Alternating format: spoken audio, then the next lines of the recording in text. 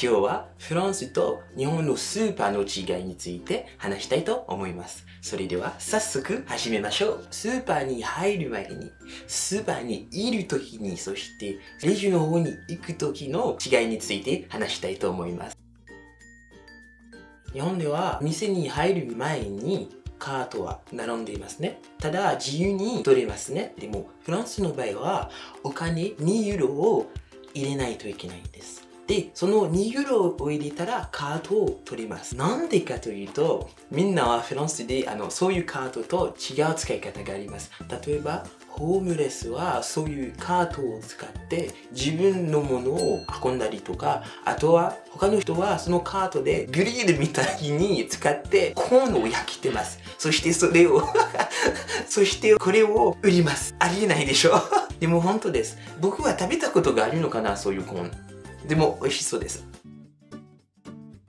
スーパーに入ったら、やっぱり日本では音楽は結構うるさいなお店の中で音楽があるんですけど、それぞれのシェルフのところに音楽もありますね。ということで、最終的に結構わわわわわうるさいですね。フランスの場合はね、一つの音楽がありますので、まあ、聞きたかったら、まあ、聞いていいんですけれども、気づかない場合もあります。なんで日本では一つのお店の中で、それぞれの玉が自分の音楽があるか、コメントの中で教えてください。そのまみの方に行きましょう。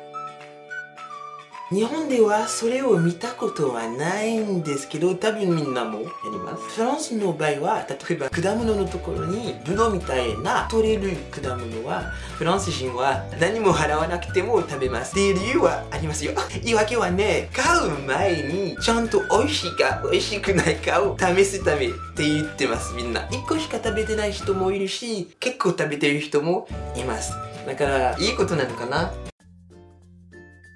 レジの方に行くときに、びっくりさせたのは、レジ係は、ピッピッをしながら、ちゃんと他のカゴの中に僕の買い物を片付けます。ありがたいなーっていうふうに思いました。え、優しいな まあみんなのためにやってますね。でも結構びっくりしました。フランスの場合はね、トレードミールみたいなものがあるんですけど、レジ係はピッをしたら、ただそのトレードミルの上に置きます。ていうことで、最終的に自分が買ったものは自分で片付かないといけないんです。で、そのレジ係は毎日仕事やってますので、結構早くピッピッをやってますね。ということで、最終的に急がないと買い物がたくさんあって、片付ける時間もなくなります。っていうふうにです。結構大変です。遅くやってくれるレジ係もいるんですけど、大体は結構早くやってますので、レジの方に行くときにマラソンを走るみたいに準備をしないといけないです。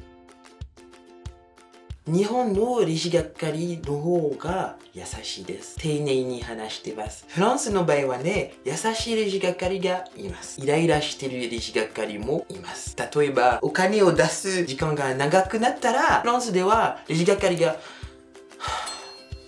とか変な目をする場合もありますとか話し方もいつも丁寧じゃないんです。喧嘩がある時もあります。多分日本でもそういう時もありますが今まで見たことがないんです。だからあコメントの中で教えてください。日本でもレジ係とお客さんは喧嘩してる。会ったことありますか？教えてください。じゃあ次の方に行きましょう。これはね日本の場合は、例えばレジの方で並んで、もしそのレジが混んでいたら、レジ係が他のレジを履いて、で、次を待ってる人が、あの、最初になりますね。みんな、あの、何言ってますか？わかりますね？フランスでは、その他のレジが入ってたら、次の人じゃなくて、一番早い人は一番です。走ったら、最初になってもいいです。本当にレジの方に戦争みたいんです。だから、よく見解があります。払う時に結構早いと思いました。ね、カードで払う時に。フランスの場合は、機械の上にカードを置いて払える仕組みがありますね。ペイマンソンコタなんですけど、結構早い。多分4秒か5秒、本当に早いんですけど、日本のスーパーなんですけれども、カードを入れたら2秒で返します。日本一般的にこんな風にわからないんですけど、まあ、ジョアンが言ってるスーパーではこうだったので、まあ結構早いんですね。まあでも4秒より2秒だったら2秒しか早くやってるからまあそんなに変わらないんですけど気持ちいいなトゥトゥよし最後なんですけど、お店から出るときに、ジョンが言ってる日本のスーパーでは、盗んだものを持ってるかを確認するセンサーはないんです。もんみたいんですけど、まだ買ってないものを盗んでいたら、ピッピッピッっていう風に鳴らしますね。日本のスーパーではそういうのないんですか？まあみんなあんまり盗まないかもしれませんですが、フランスの場合は同じ大きさのスーパーだったら絶対センサーがあります。センサーがなかったら、偶然にね、物がなくなってしまいます。